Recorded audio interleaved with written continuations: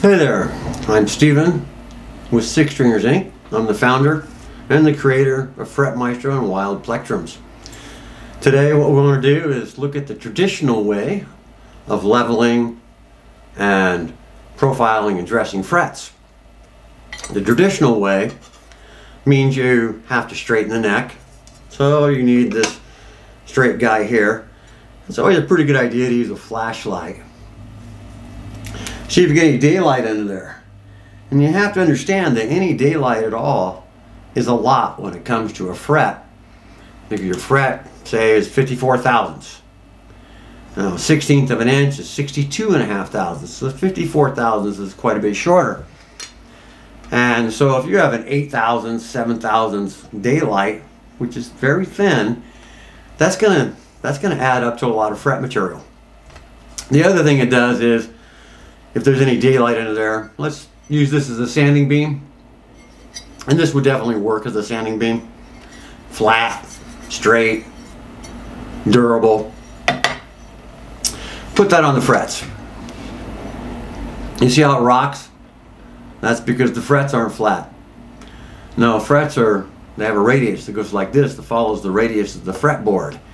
And then they have a crown that goes like that. Okay, so they're a compound radius. So when this guy's like this, you know, and you're coming across the top back and forth, uh, you're basically bulldozing the crowns or the hills, the tops of the hills, off the fret radius. And uh, that's going to consume a lot of material. I'm going to diagram this for you at, in along the way of this video. I'm going to have a lot of diagrams so you can see close up in detail what's actually happening to your frets using a sanding beam and then following that up because now these are all flat with a straight file. Now this isn't actually a fret file. I don't I don't actually want to use a fret file that you buy everywhere and I definitely don't want to use a sanding beam no matter who makes it. And I'm going to explain to you why that is um, the other tool we use, of course, is a fret rocker. I know that I have a high fret here. You can see it rock. There it doesn't, you know. Uh, but even if it's only one or two frets, you still have to make this neck perfectly, perfectly, perfectly flat. If not, if, if it bows this way, you're going to knock these guys these frets here lower than these frets in the center. In which case, these will be higher and you're gonna you're still gonna have fret buzz. I mean, it has to be perfectly flat. That takes several days. Adjusting the truss rod, letting the neck wood settle in, adjusting the truss rod, letting the neck wood settle in, little by little, till it's absolutely perfectly flat. If you don't do that, you're going to have a lot of problems. You're going to ruin those frets. Okay, now we're going to bring in uh, some diagrams. Our first diagram is the in-view cutaway of a guitar neck, including the fretboard and the fret. In this example, we're showing a 54 thousandth inch tall fret. We need to know basically, we need to know how tall the fret is so we can do the math. Now, when we're thinking about doing a fret leveling job, we're told that we get these tools. And collectively, we have a fret rocker, a neck ruler, a sanding beam, a fret file. Now there's actually going to be two or three fret files. A fret rocker, you know, immediate, medium priced, you say $15. The ruler is about $30. The sanding beam, $60. Even more. Some of them are like $129 because uh, they have to be really straight. You know, they they can't have uh, any warps in them. Uh, the cheaper ones I, I, wouldn't advise. The file, 60 bucks uh, for a file like this. Uh, this is not a diamond file. This is a serrated file. And um, anyways, when I look at these tools, I think of a fret having a radius and a crown, so it's a compound radius. It's like a square peg in a round hole. It just doesn't make any sense. Flat, straight, fret tools make no sense. Not to me anyways. So we get down to the actual fret work once we've straightened the neck and we've identified high frets.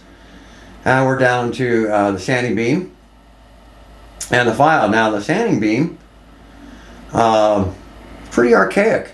I mean, it requires one, a lot of practice and skill to be able to use it. And it's incredibly destructive to the frets. Let's see why that is. Here we're looking at the sanding beam diagram sitting on top of a radius fret. The bottom of the sanding beam being flat, the fret not being flat. And we have a notation here called the loss gap of 21 thousandths of an inch. I'll tell you right now, that's a real number. This is a seven and a quarter inch radius fret. And that is a 180 degree flat sanding beam. And so if you set it down the center, you're going to get this gap. And that gap I call the loss gap. And that gap, with an AutoCAD program drawn out, measures at 21 thousandths of an inch. That's a lot of fret when you realize that your fret is only 54 thousandths of an inch. We plow along with the sanding beam, or bulldoze as I like to call it. And we see in this diagram, on the left hand, upper left hand side, we see this is what the crown looks like before the sanding beam came in. On the right of that, we see what happens to that crown. It's like shaving off the top of a hill, bulldozing it off. Below that, we see the fret length radius and what happens there. It's got a very flat top and you've got some angular sides. Now you may have some more steps in there, but it all comes out to be the same thing. You have wiped out a lot of fret material. A closer look at the end view, we see that uh, we have 33 thousandths of an inch left because we lost 21 thousandths in that lost gap. So we have now a 33 thousandths tall fret and we haven't reshaped the radius and we haven't recrowned it.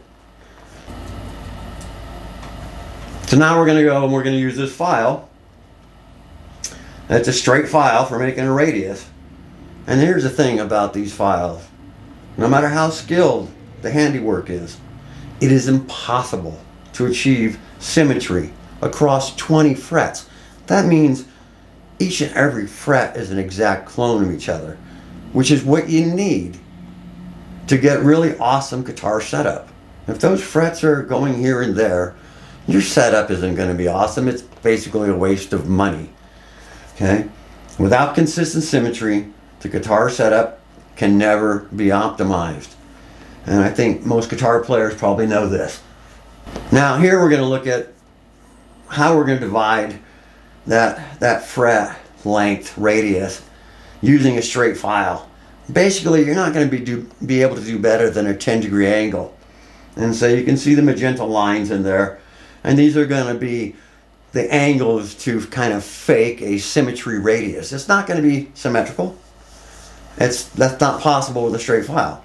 So this would be the best you can do, and that's assuming you have practiced skills. You've done this more than once, twice, and three. You've you've done this many times. So here again, we're looking at what do I mean by 10 degrees.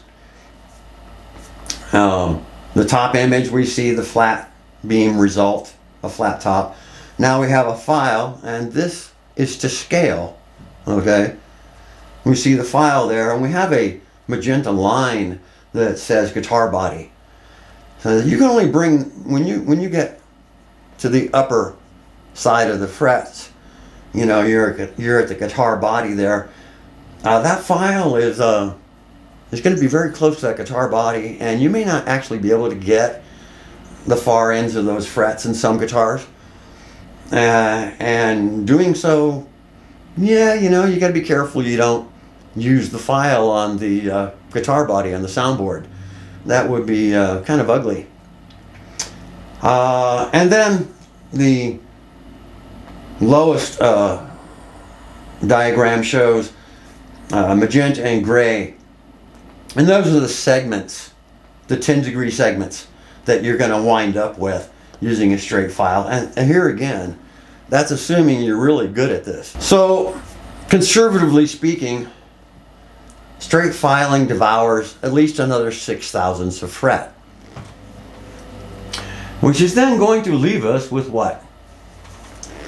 We started off with a 54 thousandth inch fret. We used a destructive sanding beam. We used ba basically a destructive straight file. And uh, when it's all said and done, we have a 27 thousandth inch fret.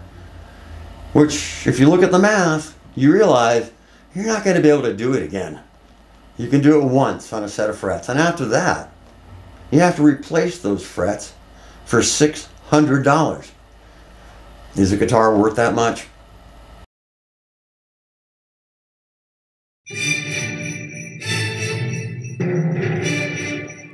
What we're looking at here are the prices of sanding beams and files. That's not counting the straight edges and the rockers. You need those pretty much anyway, so we won't count those. So we look at a flat straight sanding beam, roughly $70. Uh, you can pay a lot more. You can pay a lot less and get a worse beam. You have a straight serrated file. That's an actual price. That's what they're going for. And that is a serrated file, not a diamond file. Here we have a straight crown file, which is a diamond file.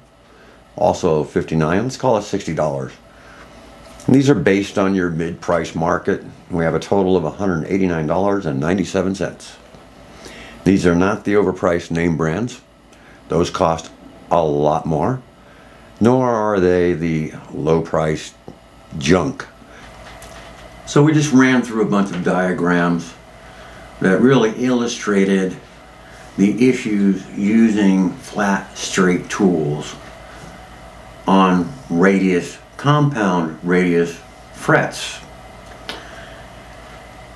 Flat straight tools were not designed for frets, they were adapted. There's a big difference between an adaptation of a tool and a tool that is specifically made for the job. This tool right here is called Fret Maestro specifically made for the job. That's all it's for. Okay? Let's take a look at some of the features and why this is true. we look at this right here, we see that there's a radius. This particular Fret Maestro is a 12 inch radius. Okay, There are 11 Fret Maestros. 11 different radiuses for all the different radiuses of the different guitars out there. Okay, Mostly what we're looking at seven and a quarter inch, nine and a half inch. Those are both Fender guitars. Uh, 12 inch, your, your Gibsons and your uh, G&L guitars and other guitars. Your 16 inch is most of your acoustic guitars. Okay, and then we have eight and a half, 11 and a half, uh, 14, 15, 16, 17, and 20. So 11. You need to match the fret maestro to the radius of your fretboard, okay? Now inside of the fret maestro is a diamond file. I'm going to pop that out here. I Got a little pin I put through a slot. Pop out the diamond file. And you'll see that it also has the radius. Not only does it have the radius, but it also has the crown. Okay, so it will do the radius and the crown at the same time. But to control the depth of the cut where this comes in. Show you how we know how to use that. This is a Maestro fret gauge. Tells you the height. It's kind of like a little rocker, you know, has each one of these notches here. And then they're each numbered 0 through 11. And you put it over a fret and you see if it rocks. If it rocks and the fret's higher than the number. If it's if it doesn't rock, uh, then it could be lower, or it might be right there where it needs to be. So you do a couple of them, you kind of dial it in, say okay, and you're looking for your lowest fret, not your highest fret, the lowest fret. That's what you're looking for. And so let's say, for example, that your lowest fret is number four. Then you set these dials both to number four. And um, to read these numbers, I need glasses. So go number four and number four. Alright. And that will be the depth matching the readout of the gauge. And that's where I'm going to start with, is number four. I may have to go to number five if there's like a deep divot, you know, in the fret. But I'm going to start with number four and walk it in from there. Okay, so this gives me the perfect starting position. After that, I can walk it in. Um, give you an idea of how this works. I'll set it on zero. And at zero, we see that the file is retracted or recessed into the Maestro body. Now, that's for your 57 thousandth inch fret height. Okay, the tallest frets you're ever going to see are like 61 thousandths, and they're kind of rare. Okay, and if you're going to do a fret leveling on a 61 thousandth fret, you're pretty much getting down to 57 thousandths. Um, so that's what that's for. But your shortest fret that's usable is 24 thousandths. And Fret Maestro at setting number 11 is 24 thousandths. Okay? And when you hit it at 24 thousandths, what you're going to see is that now the file is fully extended. But not so extended that it's going to cause a problem. The problem I'm speaking of is we don't want the file to file the wood. We don't want any file metal touching this wood. Yeah, we're going to have tape on here, okay? But, you know, we still don't want that. So this edge right here, which is a, always a little going to be a little taller than the position of that file, so that, that metal doesn't touch the wood. And that edge also tells Fret Maestro when to stop filing because it's going to bottom out the file to this edge and it won't be able to cut any deeper than the settings that you put it to. Okay? High precision. Again, I'm going to make very clear each increment is three thousandths of an inch. Three thousandths of an inch. Really high precision. That doesn't mean you're always going to take off three thousandths of an inch.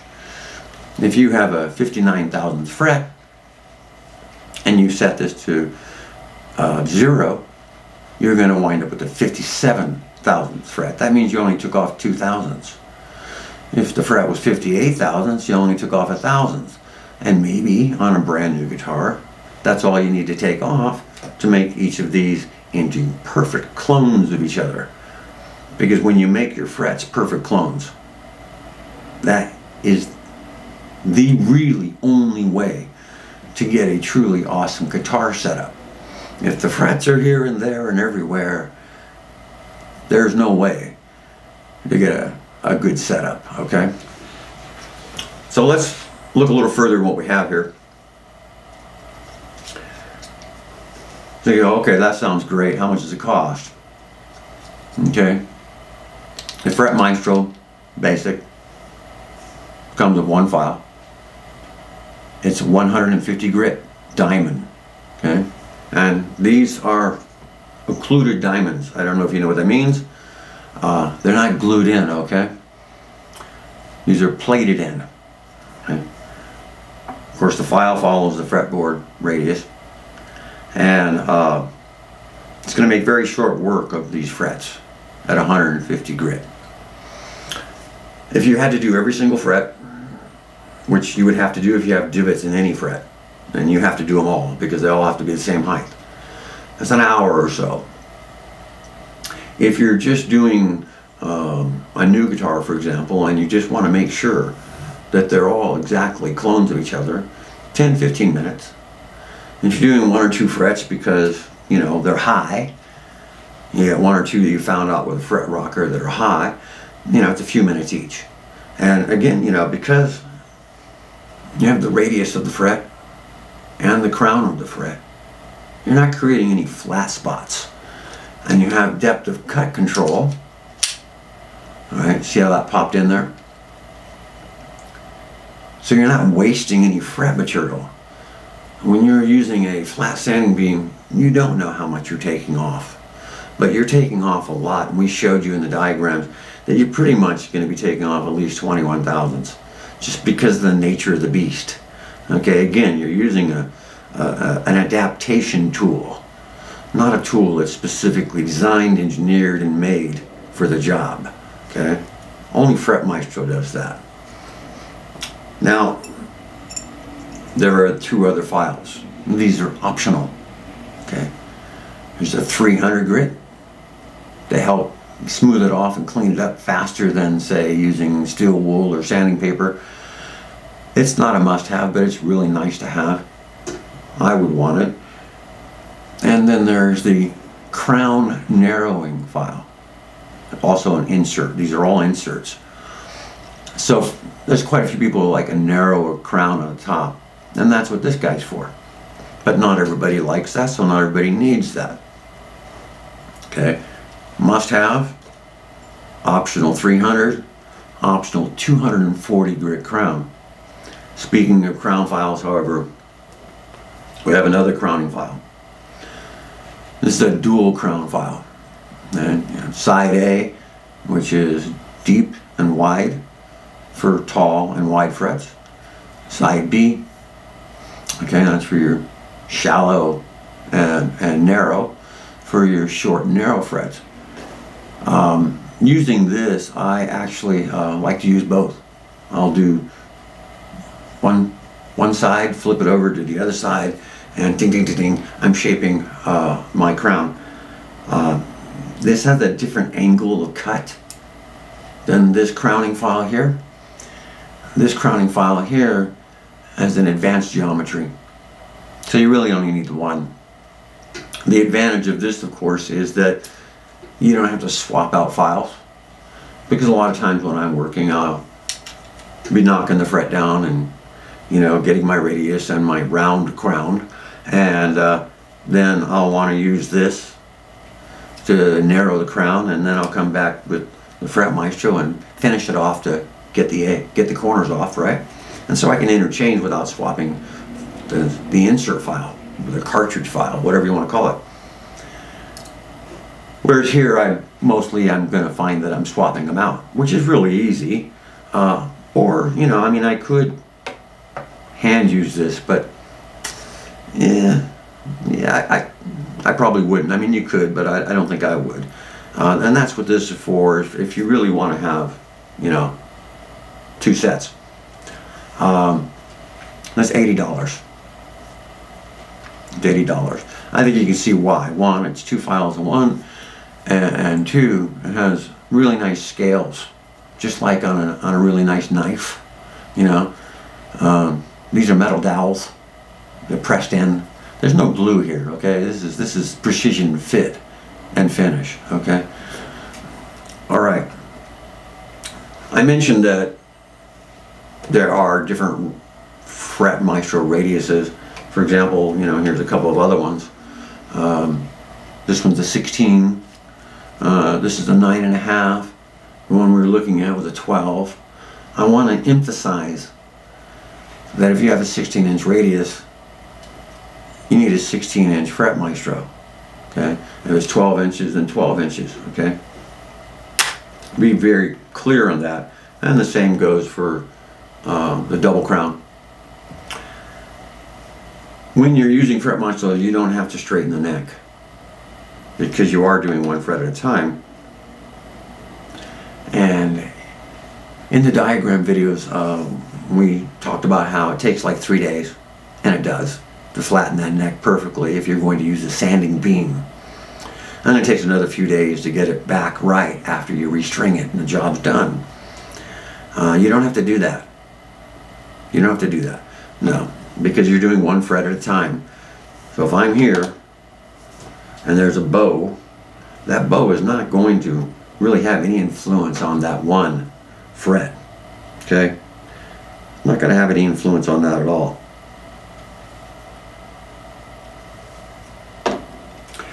And that's why you don't have to straighten the neck.